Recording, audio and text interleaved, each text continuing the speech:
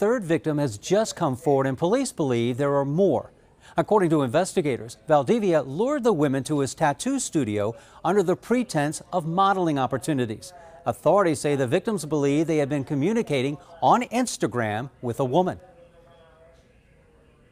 One of the victims was offered a free tattoo in exchange to model the artwork. Police say Eduardo Valdivia communicated with the victims through an Instagram account and private messages. Police accuse him of inviting them to his tattoo studio under false pretenses of modeling opportunities of their tattoo artwork with a business called Exeter Models. The victims told police they signed written contracts, did photo shoots, and had oil massages that ended with Valdivia sexually assaulting them. Valdivia's defense attorney contends the sex was consensual. This is absolutely a consensual interaction.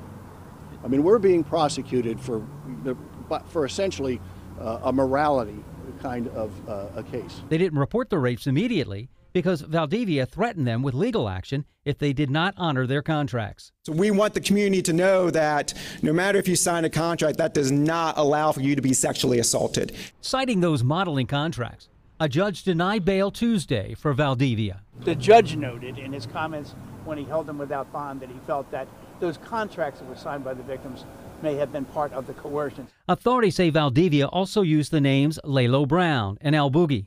He leased space for a business called DC Fine Line Tattoos back in February. It was located on the second floor of a Gaithersburg office building. It was near a hotel where police say one of the victims told them she was raped again under Valdivia's claim, she had to honor her modeling contract. He's the one that actually gave the tattoo, but these uh, incidents occurred in the late hours of the day as well as on the weekend. To our knowledge, our victims did not know of his employment status as an FBI agent, nor either knew his true real identity.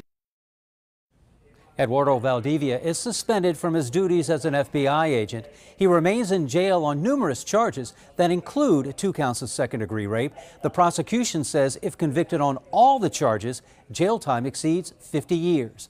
Detectives are urging anyone with information or who may have been victimized by him to contact the Montgomery County Special Victims Investigations Division.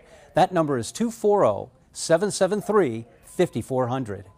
Reporting live from the newsroom. David Collins, WBAL TV 11 News.